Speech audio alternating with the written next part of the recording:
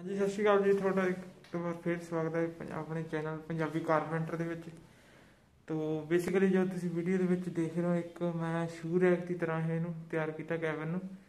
ਸੋ, ਉੱਪਰ ਇਹਦੇ ਵਿੱਚ ਕੈ, ਇੱਕ ਡ੍ਰੌਪ ਹੈ ਤੇ ਹੇਠਾਂ, ਦੋ ਸ਼ਟਰ ਲਾਏ ਨੇ। ਤੋ ਸਾਈਜ਼ ਇਹਦਾ ਹੈਗਾ ਜੀ 3.5 ਫੁੱਟ ਚੌੜਾ ਹੈ ਤੇ 3.5 ਫੁੱਟ ਉੱਚਾ। ਤੇ ਡਰਾਅ ਤੁਸੀਂ ਲੁੱਕ ਦੇਖ ਸਕਦੇ ਹੋ ਡਰਾਅ ਦੀ। ਕੋਈ ਸਪੇਸ ਵਗੈਰਾ ਕੋਈ ਰੱਖਣ ਨੂੰ? ਤੇ ਹੇਠਾਂ ਸ਼ਟਰ ਹੇਠਾਂ ਇਹਦੇ ਵਿੱਚ ਸ਼ੈਲਫਸ ਪਈਆਂ ਗਈਆਂ ਨੇ ਪਾਰਟੀਸ਼ਨ ਲਗਭਗ 8-8 ਇੰਚੀ ਤੇ ਇੱਕ ਸੈਲਫ ਪਾਈ ਗਈ ਹੈ ਤੋ ਹੇਲੀ ਜਿਹੜੀ ਸੈਲਫ ਉਹ ਥੋੜੀ ਸਪੇਸ ਵੱਧ ਮਿਲ ਜੂਗੀ ਰੱਖਣ ਨੂੰ। ਸਾਰਾ ਪਿਓਰ ਸਾਗਵਾਨ ਚ